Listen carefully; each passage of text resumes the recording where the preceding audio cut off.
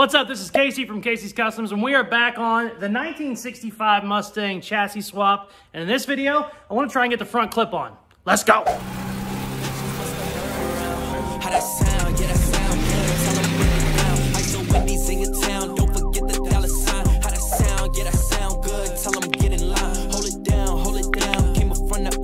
In the last video, we got the body put on the chassis. I think I got it where I want it, but I'm not gonna weld anything too solid right now, just in case I need to tweak anything a little bit.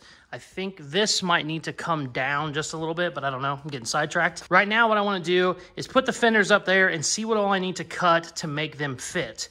Whenever I put the body on in the last video, I was holding a fender up there to kind of get it in the right region, but I wasn't, you know, going for exact fit and finish. In this one, I want to try and get the fenders on so they're working good. I know right off the bat, just from doing the work last week, I think I need to cut some of this away and I might need to trim this down a little bit. So what I might do is cut this out and then invert it so that it dips in instead of dips out. I don't know. Let's throw the fender up there and see exactly what all we need to do because right now I'm just going off of stuff I did last week and I don't really remember.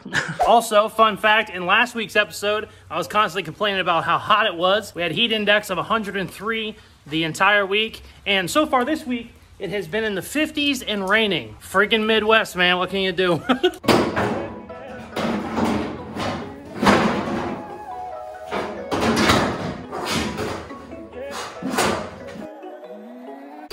You can kind of see what we need to do to make some room for the headlight bucket. Need to make some room for the edge of this fender. I can obviously trim this down a little bit, but I'm gonna go ahead and cut that. And then we also need to trim this. In reality, it would be a lot better if the body was an inch or two higher. I would probably get away with not having to cut that much, but I already hate how high the body is. Just, I'm not a fan of it. I know, I know the bodies are skinny, so it's kind of tricky. 65, 66 is real skinny, really thin. But I just, I hate how high it is already. We're already to have to kind of get cute with rocker on the modern Mustang. So I'm not going up anymore because it uh, just, it upsets me.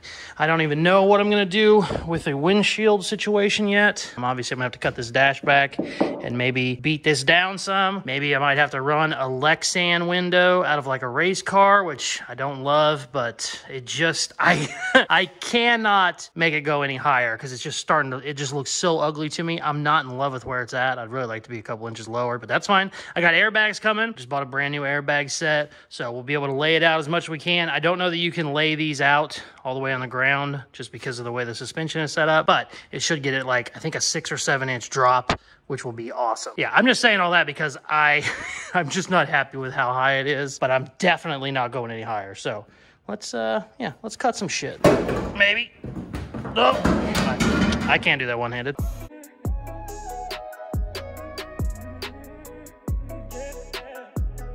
Starting to make some stuff happen, baby. Not looking bad. I'm gonna cut this now and uh, I'm gonna show you something. So I get comments almost constantly, people saying, Casey, why do you use time lapse so much? We wanna see the work. We wanna see what's going on. And I try and show as much as I can without it just being boring. But for those people, this next video is gonna be for you. Here's what it looks like when I don't time lapse.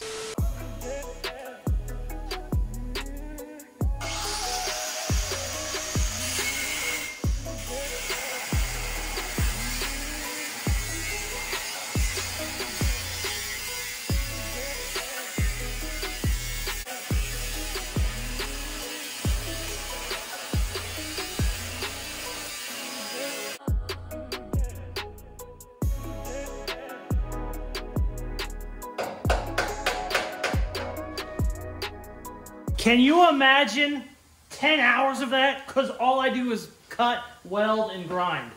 It's truly annoying. And also, this is like a four minute clip. We'll probably only play 45 seconds of it because nobody wants to watch four minutes of grinding, but that's why we have to use time lapse. now, anytime you're cutting out suspension parts, it's good to always put them back. So on this, this is just sheet metal. This means nothing. This is just kind of dash. And this is going to get more structure added, whether I do a roll bar or whatever. Not that big of a deal. This is something that needs to be replaced with the same thickness of metal that you took out. So what I'll end up doing is I'll take the piece I took out and I'll end up putting it back in there some way like that. Or I'll fab up another piece out of eighth inch plate or quarter inch plate, whatever that is. But for now, I'm going to leave it off. I'm to put this off to the side because I'm going to reuse it And I'm going to leave this off for now, though, so I can see where my fender is going to run. But we will definitely need to put that back with some heavy-duty stock because that is... That's a good little chunk of metal right there. Also, I, my airbag kit's coming in, so I might just leave that open for now because I think the airbag kit uh, mounts a lot smaller, so I might even be able to change this bolt pattern a little bit. I don't know. I'll have to see that whenever it comes in. But uh, yeah, let's cut the front.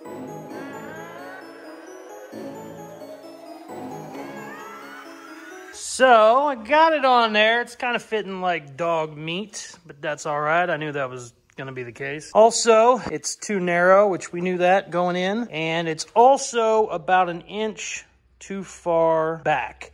You can tell by looking at the wheel well, it is not in the center. It's not that big of a deal because one, I have a welder and two, I have a grinder and three, we were going to have to cut these fenders up anyway just because I knew it was going to be too narrow. Whether that was going to be with a flare or whatever, either way, going to end up cutting this fender. Um, I just don't know how I'm going to cut it just yet. So I'm kind of still a little nervous. Not nervous, I just don't know what the plan is yet. But most likely it's going to be doing one of those type deals and then we'll slide it back and probably also pull it out. But i don't know if i'm to go with aftermarket flares. I don't know yet. So the goal is make that cut and then get my lines lined up. I want them i don't want it to be jogged. I don't want it to go uphill. I don't want it to go downhill. I want the body lines to match up. I'm also going to trim this some that bottom of the old rocker, whatever you want to call it. You can't get rid of the thickness because that's actually structure, but I can obviously get rid of that little front part that looks like shit. So I'll cut that out of there. I need to cut this fender. I'm just hemming and hawing about it before I do it.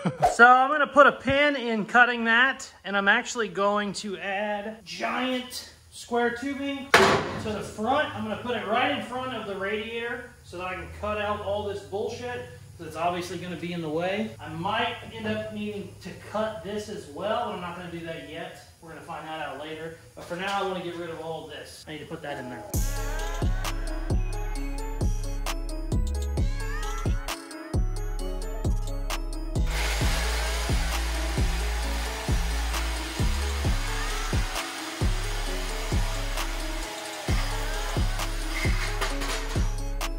That is pretty solid. Also, one really cool thing, whenever I cut stuff off that's important, like a frame or a subframe, I always like to judge on what the metal is doing. When I got through that first cut over there, nothing moved, so that's a really good sign. Um, anybody that does this stuff, you'll know. Sometimes you cut something, if you don't have a brace welded in, it will jump on you, you know, a quarter inch, a half inch, whatever, you know something just got bent out of whack and it was under a lot of pressure. But once this was in there, had no issues, came right off. So that's good. That saved us like almost a full foot, which is awesome. I do need to cut the fender wells out, but I'm not gonna do that yet. I think what I'm gonna do is try and get all this trimmed up so that I can get the passenger fender on there and we'll probably call that a day for now because uh, I have a bunch of hours in I'm dragging ass already. But I'm going to go in here and I basically just have to mirror the same cuts. So here, here, and then up here. So let's do that. You better turn up. You better be there when I shake. Watch me rocking if I can't stop. Check it out. They're actually fitting pretty good. Funny enough, one of the shock tower bolts lines up with where the fender is, so I drilled a hole and it actually is the exact same spot in both sides. Now, I don't know if that's going to end up actually working, but what I could do if it would work out as far as fitment, spin that bolt around so that it goes down and then, you know, you tighten it from the bottom and that could actually be a good fender mount. So they both still need cut because it's, it's pushing it too far forward because I'm hitting right here, but boy, it don't look bad. Pretty excited yeah, we're to call it a day. Tomorrow I'll come in and cut those out just like they're cut in the back. Then we can kind of get some movement and make everything fit perfect. And then we'll start making some mounts. Well, actually, I take that back. Then we're going to figure out what we're going to do with the front because these have headlight buckets. They're about two inches. And we need to put all that together to make sure all this is going to fit. Sweet, good day of work. It is the next day. We're back on the Mustang. What I'm gonna do, I'm gonna pop these fenders off and I'm gonna cut my wheel wells probably right along there, something like that. I wanna go up to the body line if I can. That way, whenever I move this around, it'll be easy to line it back up. Technically, I could just cut right here and probably make it work, but I'm gonna cut way out here, give myself plenty of room to move this around. It'll be easy when I do the metal work on it, when I put it all back. And whenever that's cut, it'll get it out of a bind and I can actually set these fenders exactly where they need to be. Because right now, since it's hitting the tire, it's kind of in a bind. And whenever I get it cut out, I'll throw them back on there and we'll start putting the front end pieces together and see what all we need to cut off here. The goal for the end of the video would be fenders and hood on would be awesome. Now I think my stock hood might not fit. I think it probably needs to have a, you know, like a cowl induction hood, but I should still be able to kind of get it all pieced together. So that's the goal. But right now we need to pop these off and cut the hell out of them.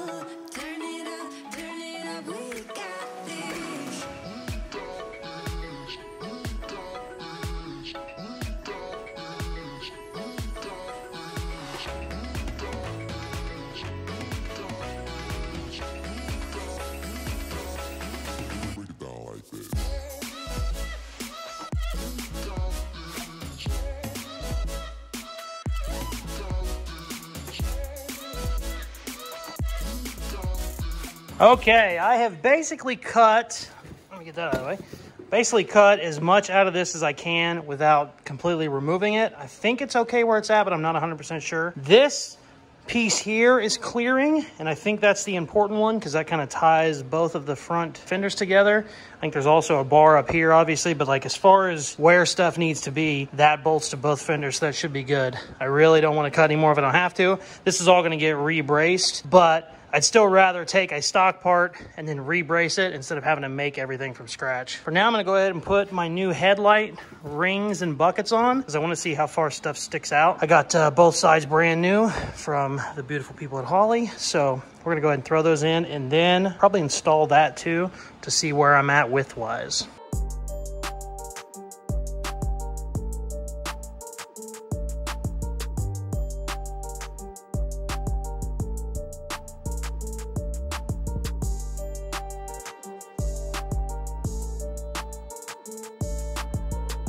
Check it out.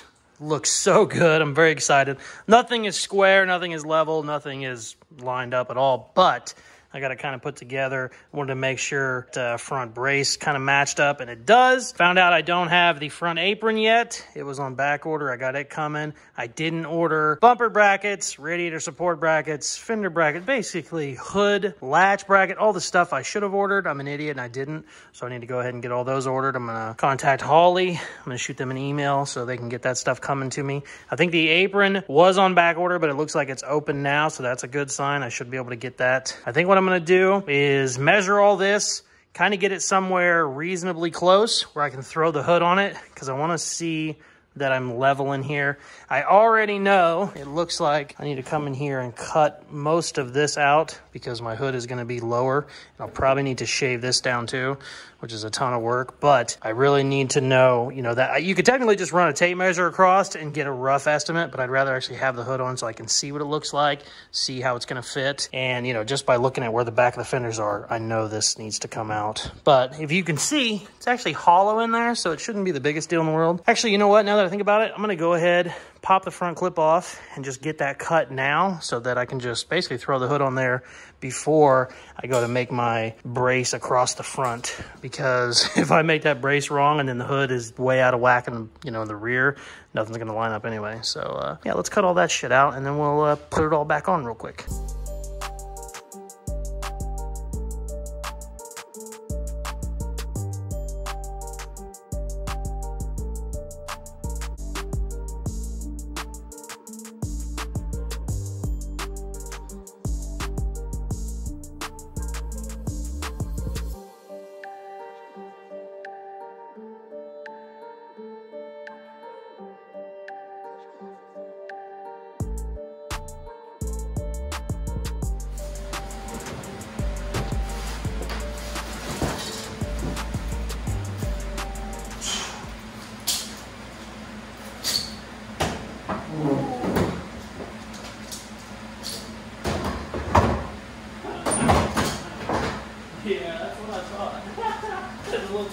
Back.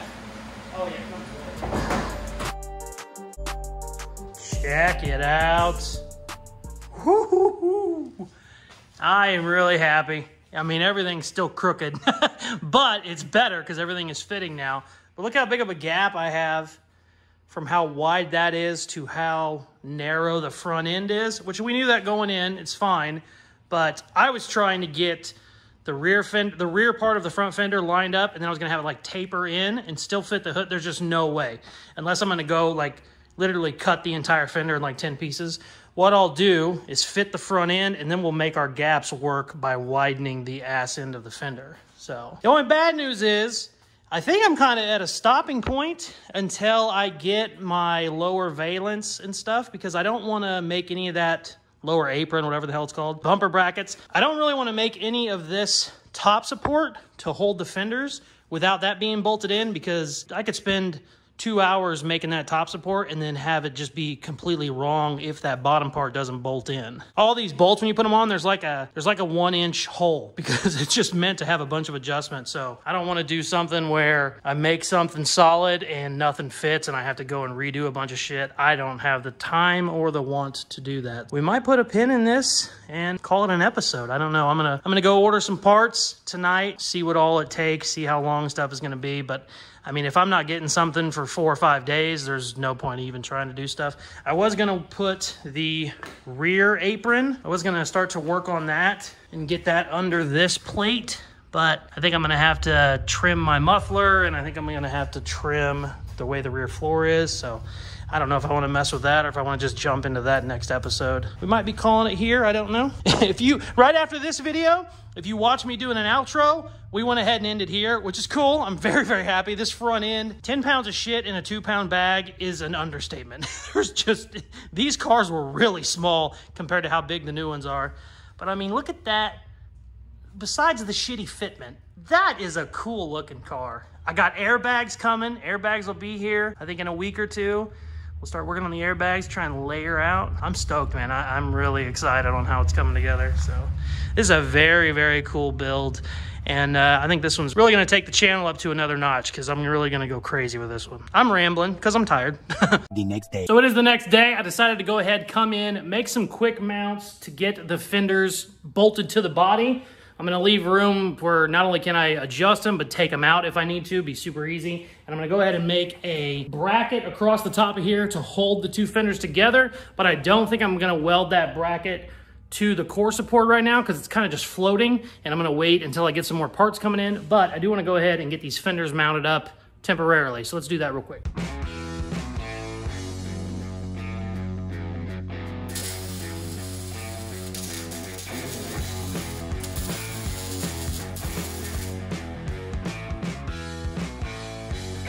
Check it out. Got the braces made, got the brace up front, and then also got tabs back here in the back.